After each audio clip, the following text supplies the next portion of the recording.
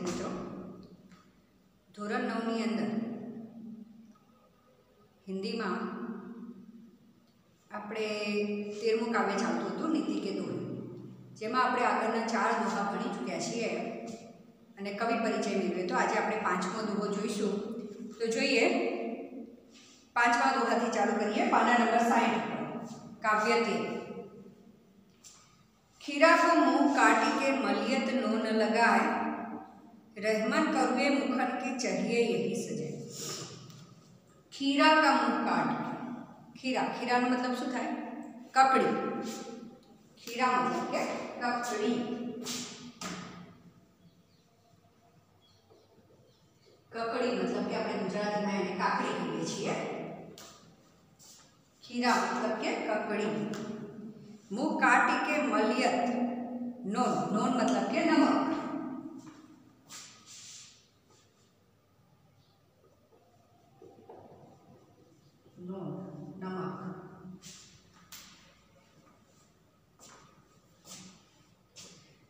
लगाइए रहमन करुए मुखन की चाहिए यही सजाए કરવું એટલે કે કડવું અને ચાહીએ યહી સજા મતલબ કે સજા શું કહે છે રહીમ ખીરા કો મુંહ કાટ કે મલિયત નો ન લગે ખીરા મતલબ કે કકડી એટલે કે કાકડી આપણે જ્યારે કાકડી ખાવા માટે ઉપયોગ કરીએ છીએ ત્યારે ઉપરનો ભાગ એનો કાપી દઈએ છીએ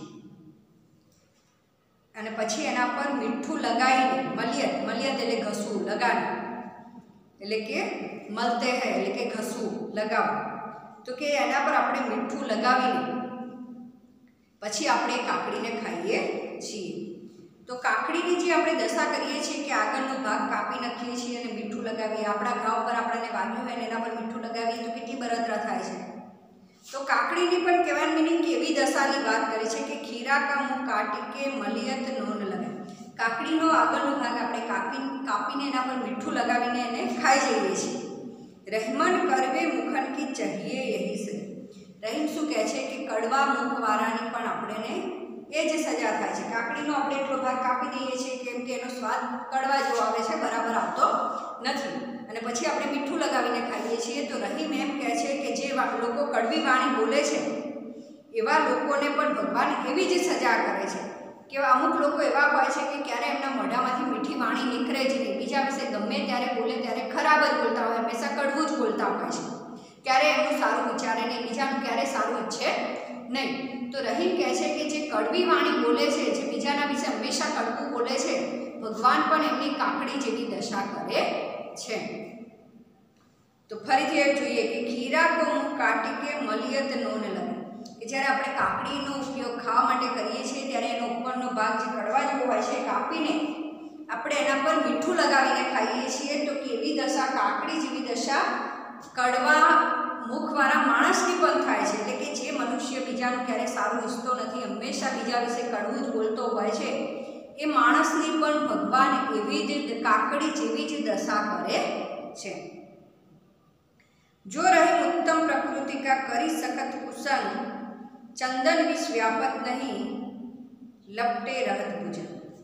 ઉત્તમ મતલબ કે શ્રેષ્ઠ.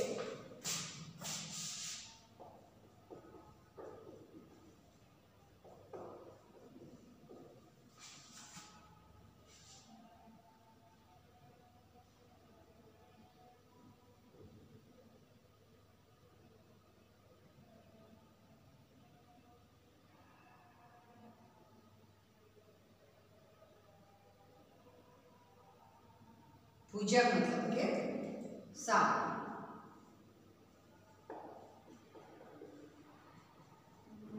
કુશમ એટલે ખરાબ સંગત શું કહ્યું છે? જો રહી ઉત્તમ પ્રકૃતિ કા કરી સકત કુશન ચંદન વિષ વ્યાપત નહીં લપટે રહત ભુજન ભગવાન કહે છે કે, રહીમ કહે છે કે જે મનુષ્ય ઉત્તમ પ્રકૃતિનો પણ ઉત્તમ એટલે શ્રેષ્ઠ સ્વભાવનો, પ્રકૃતિ એટલે સ્વભાવ. શ્રેષ્ઠ સ્વભાવનો જે માણસ હોય છે, એ કુસંગત કરે છતાં પણ, મતલબ કે ખરાબ વ્યક્તિની સંગતમાં ફરે છતાં પણ ક્યારેય ખરાબ બનતો નથી. જેવી રીતે ચંદન વિષ વ્યાપત નહીં, લપટે રહત પૂજન. જેવી રીતે ચંદનના વૃક્ષ ઉપર એની સુગંધના કારણે સતત ઝેરીલા સાપ વીંટરાઈને રહે છે. ભુજંગ ભુજંગ મતલબ કે સાપ એટલે કે સતત ઝેરીલા સાપ વીંટરાઈને રહે છે. લપટે રહ લપટે રહવું એટલે વીંટરાઈને રહેવું. વિષ વ્યાપત નહીં. વિષ એટલે ઝેર છતાં પણ ચંદનના વૃક્ષ ઉપર એ સાપનું ઝેર ફેલાતું નથી. મતલબ કે છતાંય ચંદનનું વૃક્ષ ઝેરી બનતું નથી. એવી જ રીતે રહીમ કહે છે કે જે શ્રેષ્ઠ પ્રકૃતિ સારા સંસ્કારવાળો સારા સ્વભાવવાળો માણસ હોય છે. એ ખરાબ વ્યક્તિની સંગતમાં ફરે છે, દારૂડિયા વ્યસની જુગારીની સંગતમાં ફરે છે, છતાં પણ એમના જેવો ખરાબ બનતો નથી. મતલબ કે કવિ એમ કહેવા માગે છે કે ખરાબ વ્યક્તિની સોબતમાં ફરીએ છતાં પણ આપણે આપણા સંસ્કાર ભૂલવા જોઈએ. નહીં, આપણામાં ક્યારે બીજાની ખરાબી આવવી જોઈએ નહીં. જો રહીમ ઉત્તમ પ્રકૃતિકા કરી સખત કુસંગ, ચંદન વિશ વ્યાપત નહીં લપટે રહત ભુજન. રહીમ કહે છે કે ચંદનના વૃક્ષ ઉપર, ચંદનની સુગંધ એટલી સરસ હોય છે કે એની સુગંધ લેવા માટે થઈને હંમેશા ઝેરીલા સાપ ચંદનની આજુબાજુ વીંટરાઈને રહે છે. છતાં ચંદન પર વીંટરાયેલા હોવા છતાં એ સાપોનું ઝેર ચંદનના વૃક્ષ ઉપર ફેલાતું નથી. એટલે કે ચંદનનું વૃક્ષ ક્યારેય ઝેરી બનતું નથી. એવી જ રીતે કવિ રહીમ કહે છે કે જે ઉત્તમ પ્રકૃતિનો માણસ હોય છે, શ્રેષ્ઠ સ્વભાવનો, સારા સંસ્કારનો, જે માણસ હોય છે, એ ખરાબ વ્યક્તિની સંગતમાં ફરે છે, છતાં પણ એ ક્યારેય ખરાબ બનતો નથી. સાતમો દોહો જોઈએ. બિગરી બાત બને નહીં, લાખ કરો કિન કોઈ, રહેમન બિગર દૂધ કો મથે નમા. શું કહે છે રહીમ? કે બિગરી બિગરી મતલબ કે બગડી. એકવાર વાત બગડી છે, સંબંધમાં, મિત્ર, મિત્રના સંબંધમાં, ભાઈ, ભાઈના સંબંધમાં, માતા, દીકરાના સંબંધમાં, બહેનો, બહેનોના સંબંધમાં. તો કે એકવાર જ્યારે વાત બગડે છે, સંબંધની અંદર, લાખ કરો કે લાખ પ્રયત્ન કરવા છતાં પણ એ સંબંધ પહેલાં જેવા ક્યારેય બની શકતા નથી. પહેલાં એટલો પ્રેમ હોય પછી એક વાત નાની એવી વાતના કારણે અનબનાવ બને છે. પછી તમે ગમે એટલા સારા સંબંધો બનાવવા જાઓ છો, છતાં પણ એ સંબંધ પહેલાં જેવા ક્યારેય બનતા નથી. એટલે કે બીગરી વાત બને નહીં, લાખ કરો કે લાખ પ્રયત્ન કરવા છતાં. એકવાર કોઈ વાત બગડે છે એટલે કે એકવાર સંબંધ બગડે છે, પછી તમે એ સંબંધ સુધારવા માટે લાખ પ્રયત્ન કરશો છતાં પણ એ સંબંધ એમ કે સુધારતા નથી.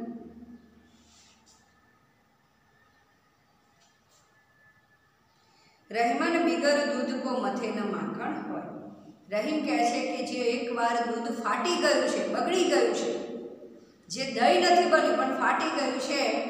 અને એ દૂધમાં તમે ગમે એટલા મથસો માખણ લાવવાનો પ્રયત્ન કરશો. છતાં પણ એમાંથી ક્યારેય માખણ નીકળતું નથી, કેમ કે એ દૂધ એકવાર બગડી ગયું છે એટલે તમારા ગમે એટલા પ્રયત્ન કરશો, છતાં પણ એમાંથી માખણ નીકળશે નહીં. એવી જ રીતે કે જે સંબંધ એકવાર બગડ્યો છે, પછી તમે એ સંબંધ સુધારવા માટે લાખ પ્રયત્ન કરશો છતાં પણ એ સંબંધ ક્યારેય સુધરતો નથી. એટલે કવિ આ દુહા દ્વારા આપણને એમ કહેવા માગે છે કે જીવનમાં જેટલા પણ સંબંધ સારા છે, એને હંમેશા સાચવીને રાખશો, એને ક્યારેય બગાડશો નહીં. કેમ કે એકવાર સંબંધ બગડે છે તો એ પહેલાં જેવો ક્યારેય બનતો નથી. ફરી એકવાર એ દોહો જોઈ લઈએ. બિગર બિગરી બાત બને નહીં, લાખ કરો કિન કોઈ રહેમન બિગર દૂધ કો મથે ન માખણ રહીમ કહે છે કે એકવાર જે દૂધ ફાટી ગયું છે, જે બગડી ગયું છે, એને પછી તમે દહીં નથી કર્યું એવા દૂધને તમે ગમે એટલું મથવાનો પ્રયત્ન કરશો, તો પણ એમાંથી માખણ ક્યારેય નહીં નીકળે. એવી જ રીતે એકવાર જે સંબંધ બગડ્યા છે એ સંબંધને તમે બગડેલી વાતને સુધારવાનો ગમે એટલો પ્રયત્ન કરશો છતાં પણ લાખ પ્રયત્ન કરવા છતાં પણ એ સંબંધ પહેલાં જેવો થતો નથી આઠમો દોહો જોઈએ રહેમન વિપદા હો ભલી જો થોરે દિન હોય हित अनहित या जगत में जाने परत सब कोई विपद विपद आपत्ति मुश्किल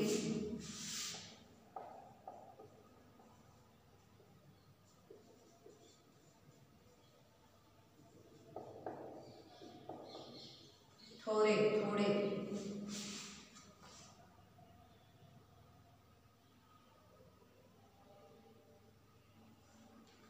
रहीम कैसे विपदा गुण बलि जो थोड़े दिन हुआ है હિત અનહિત આ જગત મેં જાણી પરત રહીમ, આગળનો આપણે એક બીજો દુઃખો જોઈ ગયો, કે જ્યારે આપણી પાસે સંપત્તિ હોય છે, ત્યારે આપણા સગા સંબંધી ઘણા હોય છે. આપણા સગા બનવા પણ લોકો ઘણા આવે છે. પરંતુ જ્યારે વિપત્તિ આવે છે જીવનમાં, મુશ્કેલી આવે છે, ત્યારે જ જે આપણી મદદે આવે એ જ આપણો સાચો મિત્ર છે.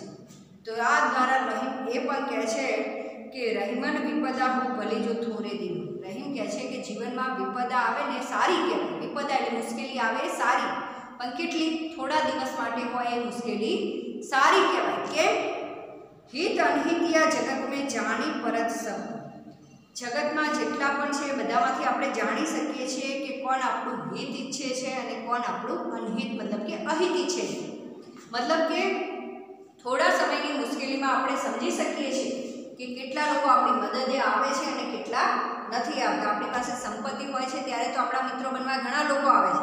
પણ જ્યારે સંપત્તિ જતી રહે છે, થોડા સમય માટે જે મુશ્કેલી આવે છે, એ સમયે કેટલા લોકો આપણો સાથ છોડે છે અને કેટલા આપણાને સાથ આપે છે. કેટલા આપણા હિત ઈચ્છે છે અને કેટલા આપણા અહિત ઈચ્છે છે. આપણને થોડા સમયની મુશ્કેલીમાં આપણને ખ્યાલ આવી જાય છે. તો રહીમ કહે છે કે જીવનમાં થોડા સમય માટે પણ જો મુશ્કેલી આવે તો એ સારી કહેવાય છે. એ એ મુશ્કેલીમાં આપણે સમજી શકીએ છીએ કે આપણને કોણ મદદ કરે છે એટલે કે કોણ આપણો મિત્ર છે અને કોણ આપણો શત્રુ છે. ફરી એકવાર એ દોહો જોઈ લે, રહેમન વિપદા હું ભલી. જો થોરે દિન હોય હિત અનહિત જગત મેં જાની. પરત સબ. રહીમ કહે છે કે જીવનમાં થોડા દિવસ માટે વિપત્તિ આવે એ સારી કહેવાય છે કેમ કે થોડા દિવસની વિપત્તિમાં આપણે જાણી શકીએ છીએ કે કેટલા લોકો આપણું હિત ઈચ્છે છે અને કેટલા લોકો આપણું અહિત ઈચ્છે છે કેટલા આપણી મદદે આવે છે અને કેટલા લોકો નથી આવતા તો એ થોડા દિવસમાં આપણે સમજી શકીએ છીએ કે કોણ આપણા મિત્ર છે અને કોણ આપણા શત્રુ છે रहमन वेनर मर चुके जे कहूँ मांगन जाही उनसे पहले वे मुए जिन मुख निकसत નહીં નર મતલબ કે મનુષ્ય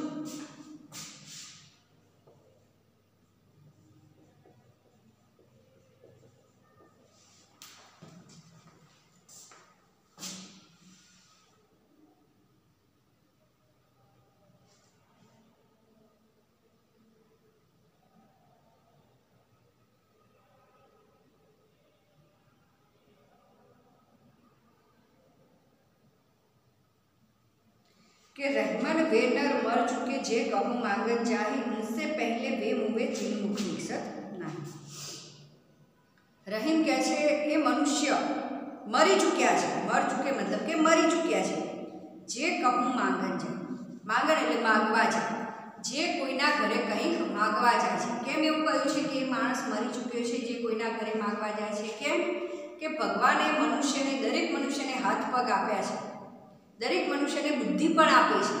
તો દરેક મનુષ્યની અંદર એટલી તાકાત તો છે કે જે બીજાનું નહીં તો કમસે કમ પોતાનું ભરણ પોષણ કરી શકે, એટલું તો એ કમાઈ શકે જ છે. તો જે વ્યક્તિ પોતાનું પણ ભરણ પોષણ ન કરી શકે, એટલું ન કમાઈ શકે, તો એ માણસને આ ધરતી પર જીવવાનો કોઈ અધિકાર નથી. એટલે કહ્યું છે કે જે માણસ બીજાના ઘરે ભીખ માગવા જાય છે, હાથ પગ સાજા હોવા છતાંય, તો એ માણસ મરી ચૂક્યો છે ઉનતે પહેલે બે મૂળ. એની પહેલાં એ માણસ મરી ચૂક્યો છે જીન મુખ નિક્ષત નાહી. નિક્ષત એટલે નીકળે છે અને નાહી એટલે ના. કે જેના મોઢેથી ના શબ્દ નીકળે છે. એમની એ પહેલાં એ માણસ મરી ચૂક્યો છે કે જેમના મોઢેથી ના શબ્દ નીકળે છે. મતલબ કે જે ભિક્ષા આપવાની ના પાડે છે. મતલબ કે આપણા આંગણે આવેલો વ્યક્તિ ક્યારે પાછો જવો જોઈએ નહીં. ભલે આપણી પાસે થોડું હોય તો થોડું પણ એને આપવું જોઈએ. એટલે કે થોડું પણ એને આપવું જોઈએ, જો આપણે એને ભિક્ષા આપવાની ના પાડીએ, તો એ ભિખારીની પહેલાં પણ આપણે મરી ચૂક્યા છીએ. કેમ કે આપણો ધર્મ છે કે અતિથિ દેવો ભવ આગળ આવેલો માણસ દેવ બરાબર છે, તો આપણે એને થોડું પણ આપવું જોઈએ. તો જો એ ભિખારીને આપણે આપવાની ના પાડીએ, તો એ ભિખારીની પહેલાં પણ આપણે લોકો મરી ચૂક્યા છીએ. એટલે રહીમ કહે છે, રહેમન બે નર મર ચૂકે જે કહું માંગન જાય. નર મતલબ કે મનુષ્ય. રહીમ કહે છે કે એ મનુષ્ય મરી ચૂક્યો છે, જે બીજાના ઘરે કંઈ માગવા જાય છે, ભિક્ષા માગવા જાય છે. કેમ કે ભગવાને એને હાથ પગ આપ્યા છે, છતાં એ બીજાના ઘરે ભિક્ષા માગવા જાય છે. જો એ પોતાનું પૂરું ન કરી શકે એટલું ન કમાઈ શકે, તો એ મનુષ્યને ધરતી પર જીવવાનો કોઈ અધિકાર નથી. માટલે મરી ચૂક્યો છે. પણ એની પહેલાં ઉનતે પહેલે વે હોય, એની પહેલાં એ માણસ મરી ચૂક્યો છે જીનમુખ નિક્ષર ના મતલબ કે જેના મોઢેથી ના શબ્દ નીકળે છે. કે જે ભિક્ષા આપવાની ના પાડે છે એ માણસ એ ભિખારીની પહેલાં પણ મરી ચૂક્યો છે. કેમ કે ભિક્ષા આપવી આપણો ધર્મ છે. અતિથિ દેવો ભવ આંગણે આવેલો માણસ અતિથિ બરાબર છે અને ભિક્ષા આપવી આપણો ધર્મ છે. જો આપણે ભિક્ષા આપવાની ના પાડીએ તો આપણે ભિખારીની પહેલાં મરી ચૂક્યા છીએ. ફરી એકવાર પાંચ છે, દુહા જોઈ લઈએ કે શું કહે છે. ખીરા કો મું કટીકે મલિયત નો ન લગાય.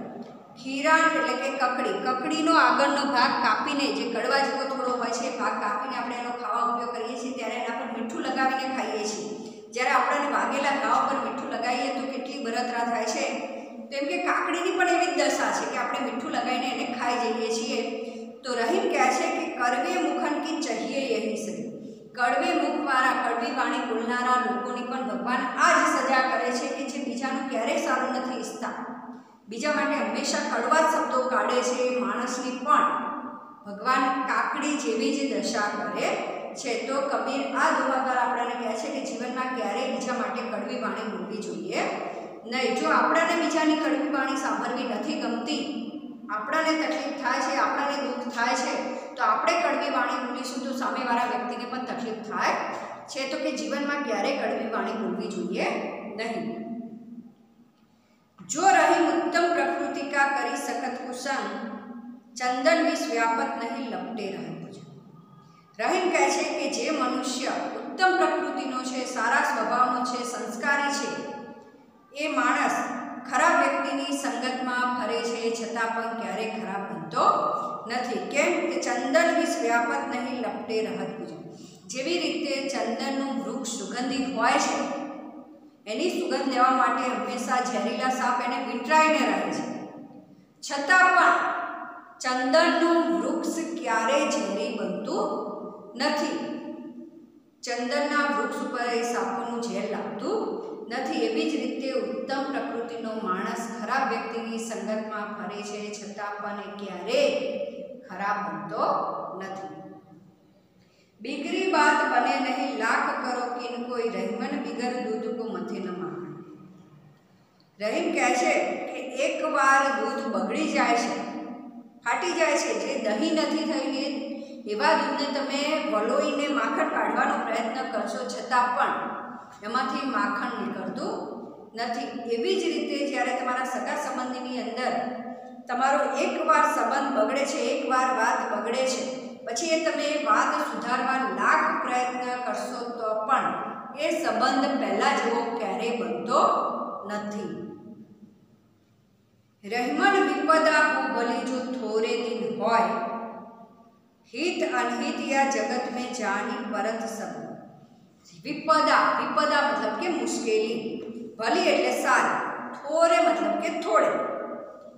હિત અનહિત, હિત એટલે સારું, અનહિત એટલે કે ખરાબ. તો રહીમ કહે છે કે આપણા જીવનમાં થોડા દિવસ માટે વિપત્તિ મુશ્કેલી આવે તો એ સારી કહેવાય છે. કેમ? કે થોડા દિવસની આપણી જોડે ધન સંપત્તિ હોય છે ત્યારે તો આપણા ઘણા મિત્રો હોય છે. આપણે ઓળખી નથી શકતા કે કોણ આપણો મિત્ર છે અને કોણ આપણો શત્રુ છે.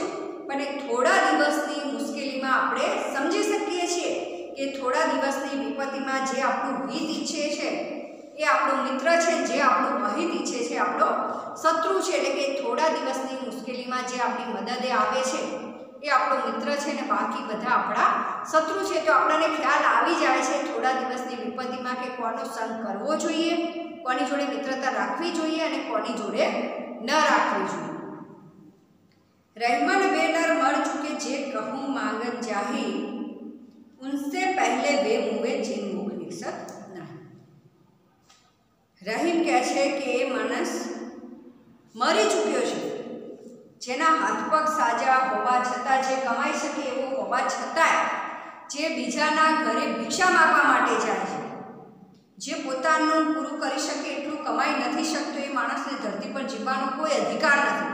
એટલે રહીમ કહે છે કે જે મનુષ્ય બીજાના ઘરે ભિક્ષા માગવા માટે જાય છે, એ માણસ મરી ચૂક્યો છે. ઉનસે પહેલે वे મુવે ચિન્મુખ નિક્ષરના એમની પહેલા એ માણસ મરી ચૂક્યો છે જે ભિક્ષા આપવાની ના પાડે છે કેમ કે ભિક્ષા આપવો એ આપણો ધર્મ છે અતિથિ દેવો ભવા આંગણે આવેલો માણસ અતિથિ બરાબર છે ને એને ભિક્ષા આપવી આપણો ધર્મ છે અને જો આપણે એ ધર્મમાંથી પાછા પડીએ તો આપણે પણ મરી ચૂક્યા છીએ એટલે કે ભિખારીની પહેલાં જે ભિક્ષા આપવાની ના પાડે છે એની એ પહેલાં મરી ચૂક્યો છે। મતલબ કે આ દોહા પરથી આપણને એ શીખવા મળે છે પહેલી તો કે આપણે ક્યારે કોઈની પાસે હાથ લાંબો કરવો જોઈએ. નહીં, આપણી અંદર એટલી તો તાકાત હોવી જોઈએ કે ભલે બીજાનું પૂરું ન કરી શકીએ પણ આપણી જાતનું, આપણું પોતાનું પૂરું કરી શકીએ. એટલું તો દરેક માણસે કમાવવું જોઈએ. બીજાના ઉપર ક્યારેય બોજ બનીને રહેવું જોઈએ. નહીં, હા, નાની ઉંમરના છોકરા છે કે વૃદ્ધ છે કે જે જાતે કામ નથી કરી શકતા, એ વ્યક્તિ બરાબર છે કે બીજાના ઉપર છે. પણ જે કમાઈ શકે છે, જાતે કરી શકે છે, એને તો પોતાનું પૂરું થાય એટલું કમાવવું જોઈએ. તો જ એ માણસને ધરતી પર જીવવાનો અધિકાર છે. અને બીજી વાત, કે આપણા ઘરે કોઈ ભિક્ષા માગવા આવે તો આપણી પાસે જેટલું હોય, જેટલું આપી શકીએ એટલું આપવું. પણ એને ક્યારેય ખાલી તો કાઢવું જોઈએ નહીં. તો આપણે અહીંયા આપણું આ કાવ્ય પૂરું થાય છે. તો આપણને આ દુખામાંથી, આપણા જીવનમાં લાગતી આપણને ઘણી બધી વસ્તુ શીખવા મળી હશે. કે કેવા મિત્રો બનાવવા જોઈએ, કોના પર વિશ્વાસ કરવો જોઈએ, કેવા લોકો પર વિશ્વાસ ન કરવો જોઈએ, કડવી વાણી ન બોલવી જોઈએ, સંબંધને સાચવીને રાખવા કઈ રીતે પ્રયત્નો કરવા જોઈએ, કઈ રીતે ઉત્તમ, સારા બનીને ખરાબ વ્યક્તિનો સંગત આપણે ન લેવી જોઈએ, ખરાબ વ્યક્તિ સાથે ફરવા છતાં પણ આપણી અંદર ખરાબ આદતો ન આપવી જોઈએ. આ બધી જ વસ્તુ આપણને આ દોહામાંથી શીખવા મળી છે અને જે જીવનમાં દરેક ઉતારવી જોઈએ તો આપણને આમાંથી ઘણું બધું શીખવા મળ્યું છે અને આપણને યોગ્ય લાગે એટલો આપણે આનો ઉપયોગ કરવાનો છે. તો આપણું આ કાવ્ય અહીં આપણે પૂરું કરીએ છીએ. જય હિન્દ, જય ભારત.